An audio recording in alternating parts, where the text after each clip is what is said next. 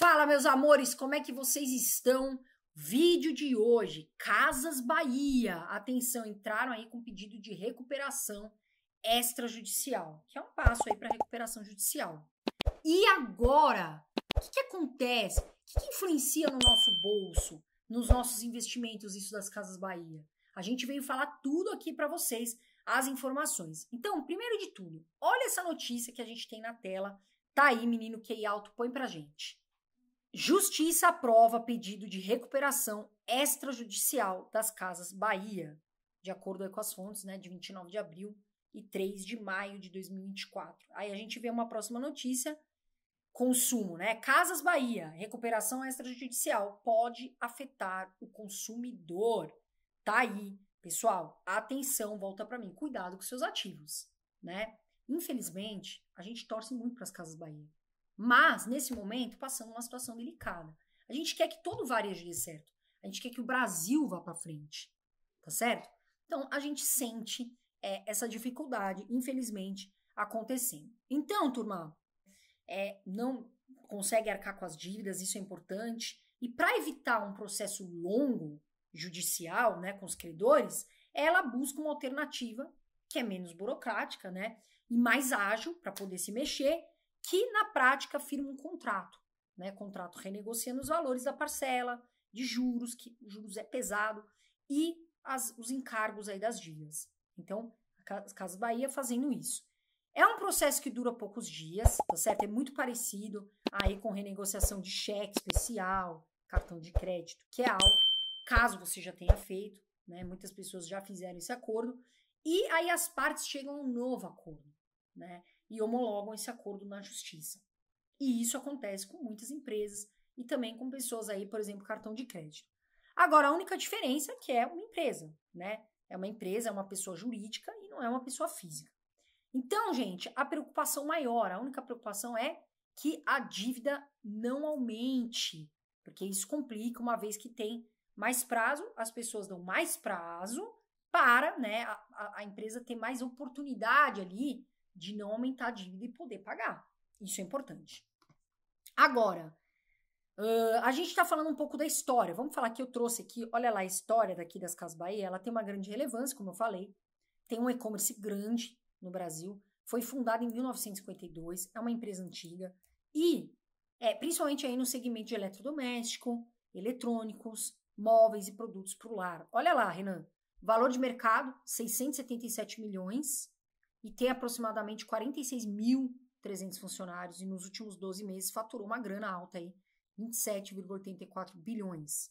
Porém, mesmo com esse faturamento, né, teve um prejuízo de 2,59 bilhões, que é bastante, por isso pediu uma recuperação aí extrajudicial para que a situação não se agrave ainda mais. Agora vamos dar uma olhada, Casas Bahia está lá na bolsa.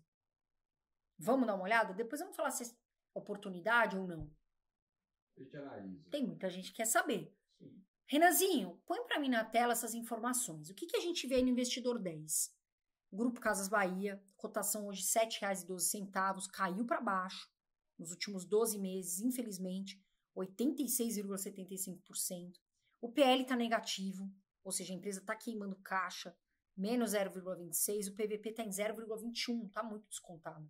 Está com 80% de desconto perante o valor patrimonial. Ou seja, tá barata, mas vale a pena? Não entrega dividend yield. Olha só o que, que a gente vê aqui a cotação, né?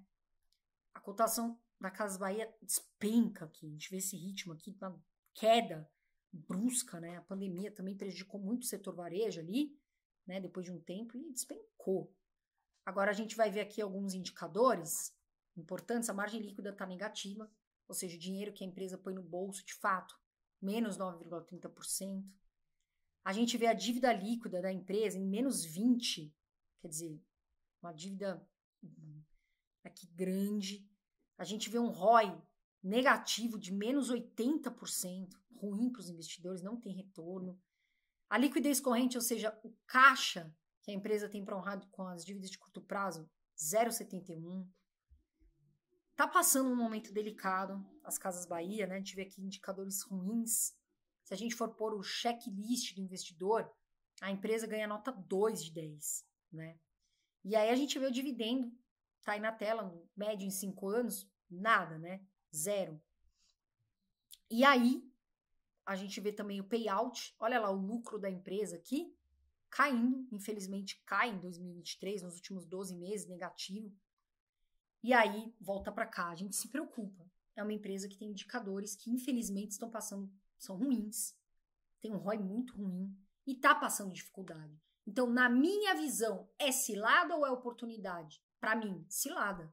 Vou investir no setor varejo? Não vou. Tá passando muita dificuldade. A gente sabe que a economia tem que se movimentar e as empresas estão passando dificuldade. Assim como lojas americanas. Ah, é oportunidade? Para mim não é, tá bom, turma? E a gente sabe que isso traz volatilidade no mercado. Não é positivo quando uma empresa não responde bem na bolsa de valores, tá certo? Então, tem possíveis quedas, a gente sente, infelizmente, porque né, tem funcionário, tem muito Sim, funcionário. Pessoas que vivem esse emprego na realidade. Exatamente. E a gente não quer que essas pessoas fiquem desempregadas. Então, turma, a gente torce e se Deus quiser as casas Bahia vão se reestruturar, vão conseguir pagar essa dívida, vão sair desses riscos grandes que está passando, tá certo? Então hoje nós trouxemos aqui essa análise das Casas Bahia. Renanzinho, tem algum recado para a turma? Não tem. Um vídeo, uma análise simples, para a pessoa ver o que está acontecendo com a Casa Bahia, afinal de contas. Para entender melhor. É, é, um símbolo nosso, querendo ou não. É um símbolo do varejo Casa Bahia. Exatamente. muito grande. Exato.